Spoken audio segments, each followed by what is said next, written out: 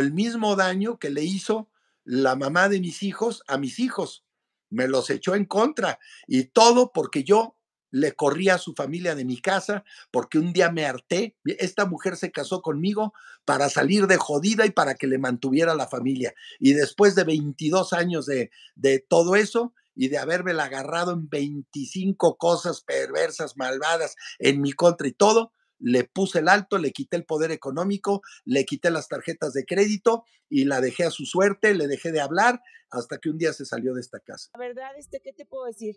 Eh, Alfredo Adame es una persona muy narcisista, muy egocéntrico y no soporta que uno, este, que yo haya sido la que haya tomado la decisión de dejarlo. Yo fui la que metió la demanda de divorcio, yo fui la que se salió de la casa y eso no lo soportó.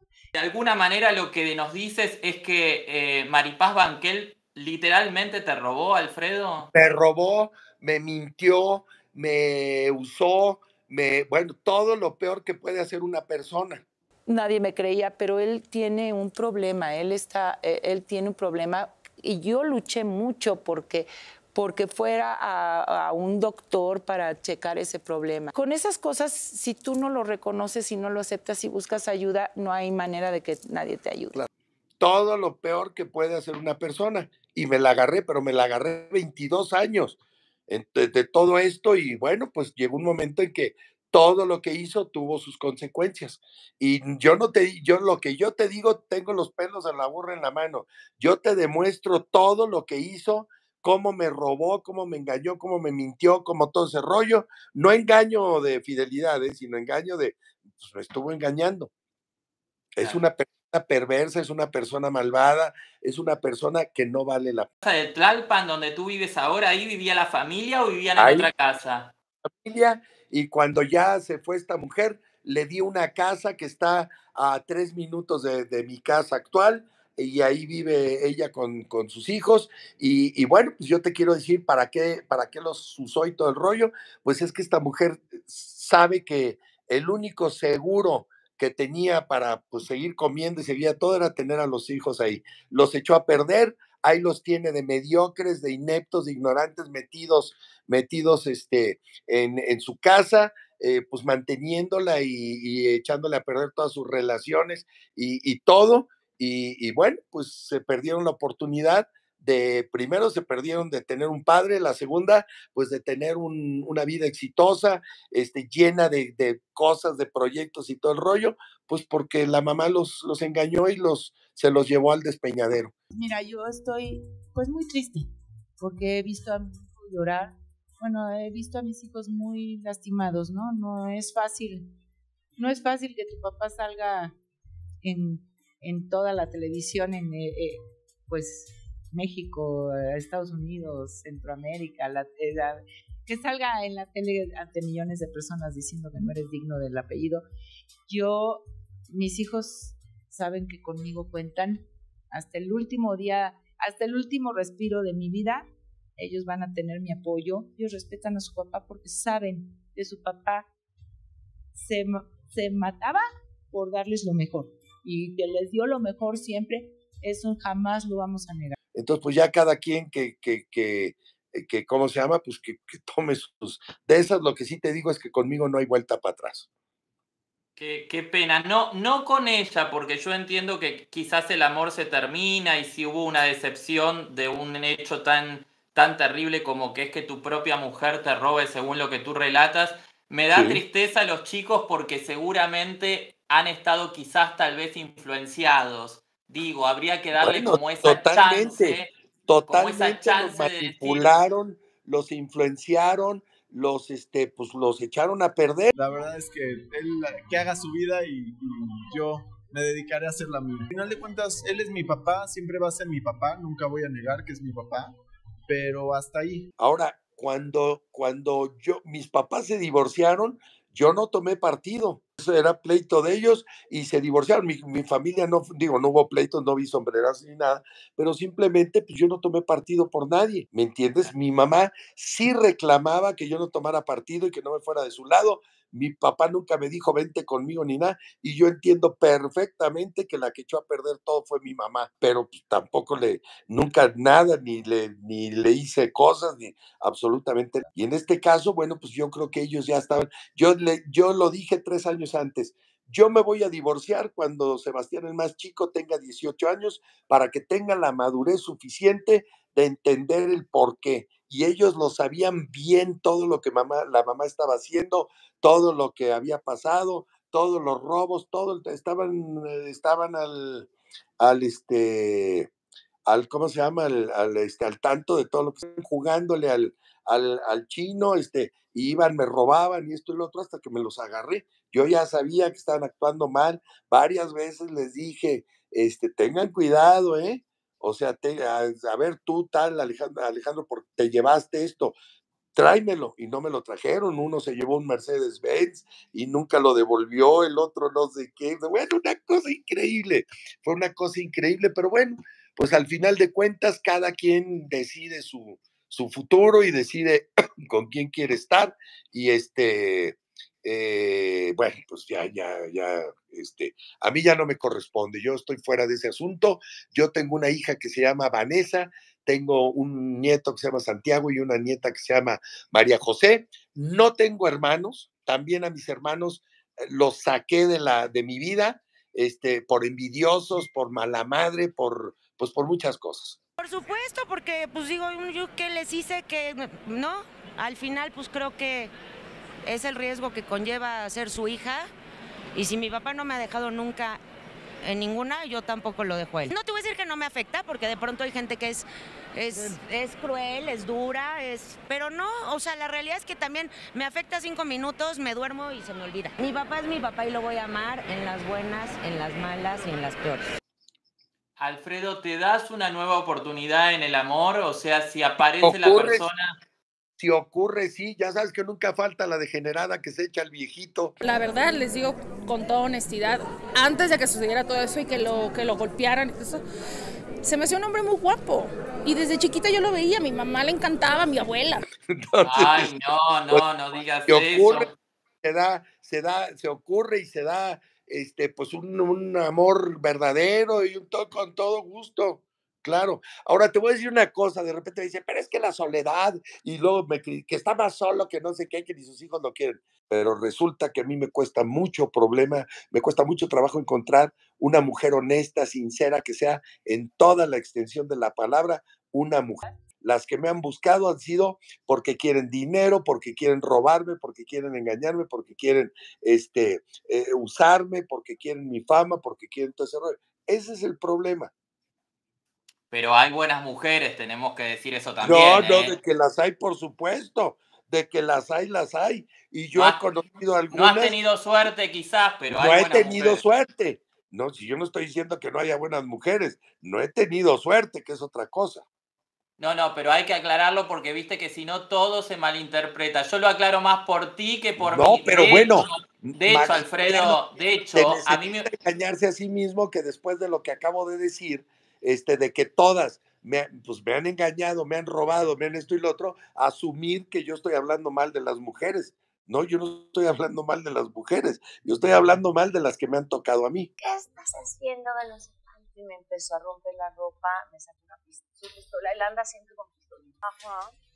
Te voy a matar, por no sé cuánto. Y yo, así aterrada, nada más lloraba, y entonces no me mató. Y lo que, porque no creo, no sé, no sé, no hablo más.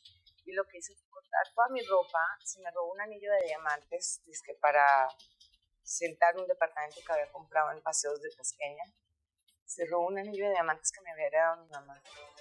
Muy caro. Alfredo, ¿qué sucedió en tu matrimonio? Porque 25 años ¿Qué no son dos matrimonio? días, no son Mira. dos días.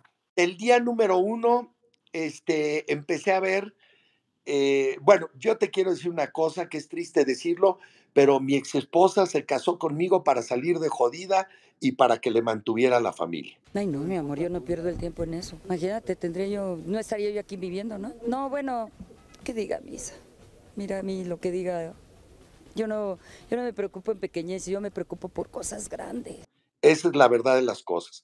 Su familia es una familia de, de gente verdaderamente sucia de gente cochina, de gente pues de, de, deleznable, de gente que, que todo este rollo. Pero yo pensé con ella, eh, este, bueno, pues le, le di un, cuento de hadas con todo y príncipe, bruja, manzana y caballo y todo este rollo.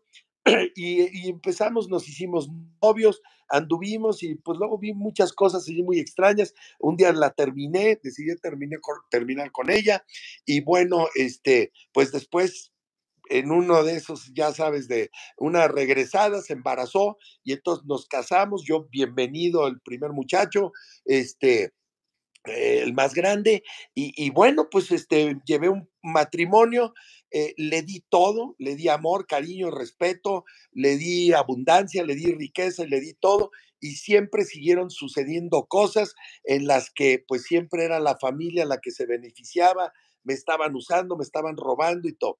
Mira, este, cuando te casas, eh, aceptas a la persona tal cual. Yo no soy una persona violenta y bueno, pues yo creo que eso fue parte de la, de la, pues de lo que nos fue alejando, ¿no? De que fuimos tomando cada quien su rumbo. Después de 50 actos perversos y malvados de esta persona en la cual, o sea, que tu esposa te robe eh, un cheque junto con la hermana y el bandido, de, la bandida de la hermana y el bandido del, del concuño, este, o del cuñado, y que luego te des cuenta que tu mujer te robó relojes carísimos, que te fuiste de vacaciones al Atlantis en, en allá y se robó el reloj cuando nadie entraba en una suite de lujo en el, en el Atlantis y todo, y empiezas a ver cosas y luego resulta que la colegiatura de los muchachos le aumentaba 7 mil pesos para dárselos a la hermana, que te empieza a te das cuenta que te está robando cheques y todo el rollo, que por la mamá y el hermano, te, bueno, mil cosas que sucedieron. ¿A, a qué hermana, Alfredo? ¿A, los, ¿A cuál? Porque Rocío, tiene hermanas, medias hermanas, ¿a cuál? Rocío Banquel, la cantante. Qué pobrecito, porque se quiere que la publicidad base de nuestro apellido y pues gracias por toda la publicidad que me ha dado. Nunca, nunca lo entendí. Cuando yo le preguntaba, bueno, es que, ¿qué te hizo? Nos daba una versión diferente. Había cinco versiones diferentes de, de por qué se había enojado. Fue de uno en uno. Este, nunca entendí el por qué, pero así como se iba peleando con también en el medio artístico, igual con mi familia, eh, además yo le decía, es que si me das una verdadera razón, demuéstrame. Prohibió que mi familia entrara, pero ni a la banqueta. Una sobrina un día me llevó una, unas cosas mías que me tenía que entregar y él le abrió la puerta y de la banqueta la corrió a gritos. A la otra hermana, Ariadne, a la mamá, al hermano, Rafael, al único decente de esa familia era Pepe, el hermano grande, que además no era hijo de la señora ni del señor, era una cosa, otra cosa, y, este, y el único que a los, a los 17 años se largó de esa casa por eso. Talina Fernández un día me dijo, cuando se supo que, que, que, andaba con ella y, que íbamos a empezar el programa hoy, me dijo, ten cuidado con esa familia. Es una familia muy peligrosa. Yo pensé que esta persona se salvaba y bueno, pues este, eh, eh, pues, pues ya pasaron los años. A los 10 años la dejé de querer y dije, pues la voy a dejar como un mueble y como la nana de mis hijos. La seguí tratando de maravilla, la llevé a viajar por todo el mundo, le seguí dando mucha riqueza, mucha abundancia y mucho todo, pero ya este pues se murió el amor totalmente y bueno, pues yo ya no ni quería otra relación ni volver a empezar ni nada de esto y pues simplemente me hice loco. Yo eh, a estas alturas de mi vida como te comentaba, prefiero quedarme con, con los mejores recuerdos, con la mejor historia de mi vida y para adelante, ya para atrás nada, ¿no? Entonces, eh, yo estoy muy orgullosa de lo que he logrado hasta ahorita, de mí, de mis hijos, y nosotros eh, encontramos por fin nuestro camino, nuestro destino, la paz que necesitábamos, y ahí vamos para adelante. A los 22 años de matrimonio, un día agarré y dije, se acabó.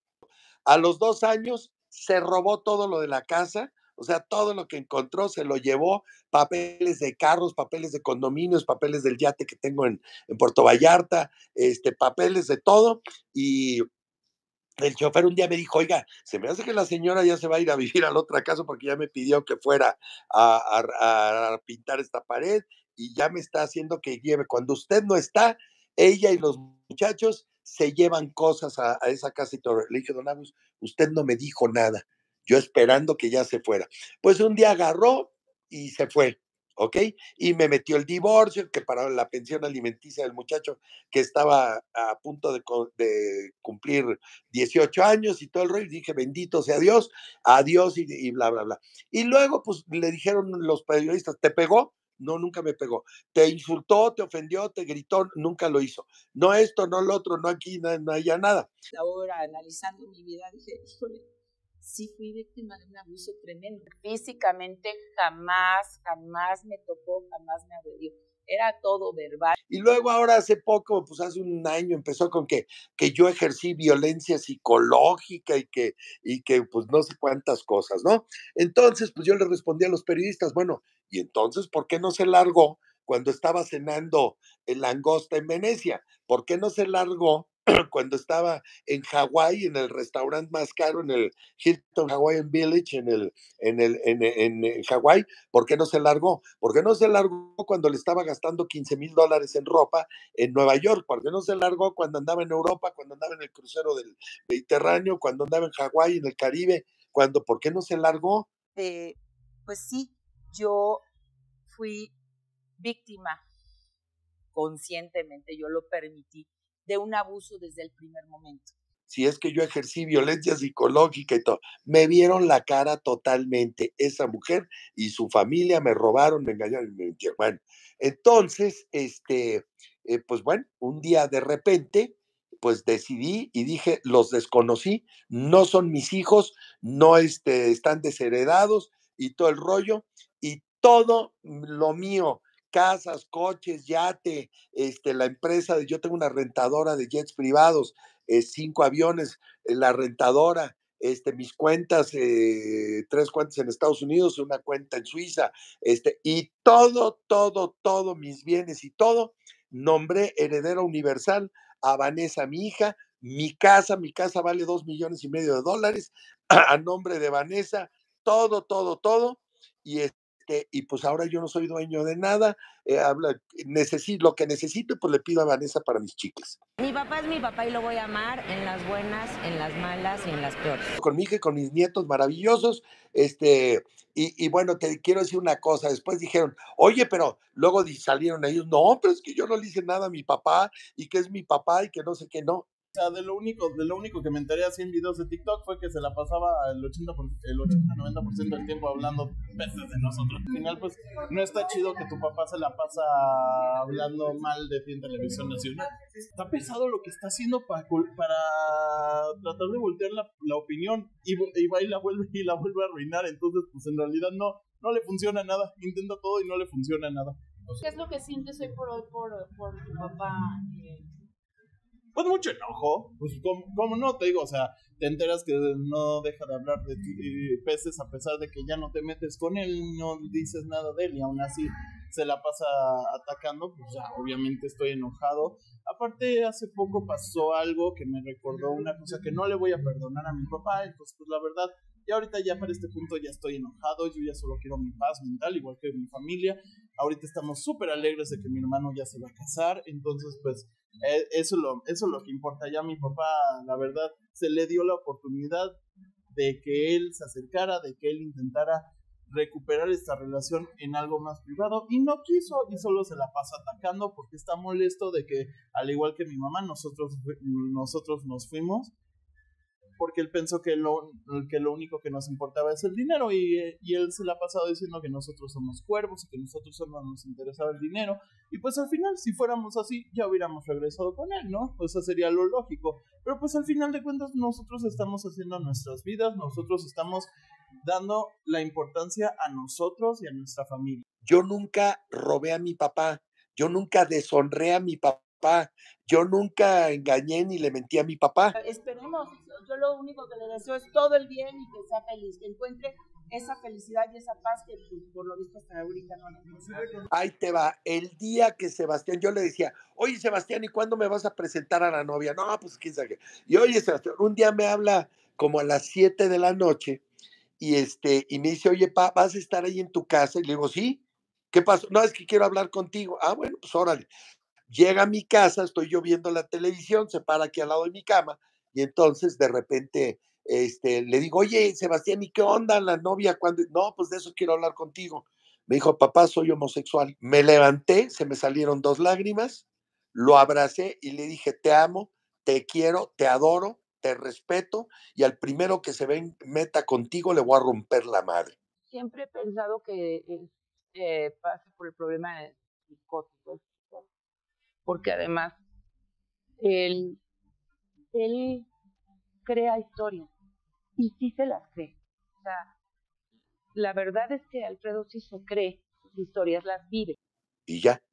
Y de ahí empecé a salir a cenar o a comer con él y con su novio, fuimos al cine, fuimos a Perisur, fuimos a esto y lo otro y pasó un tiempo y, y todo esto, hasta que pasó lo de la entrevista no es la persona que conozco, no es mi papá, la, persona que yo conocí durante los primeros años de mi vida y pues desafortunadamente me da tristeza, pero no me, no me ha hecho falta porque aquí tengo a una mamá que le ha hecho de los dos y que me ha apoyado muchísimo. Y eso fue, lo respeté, lo seguía Alfredo, todo lo que tenía que hacer un padre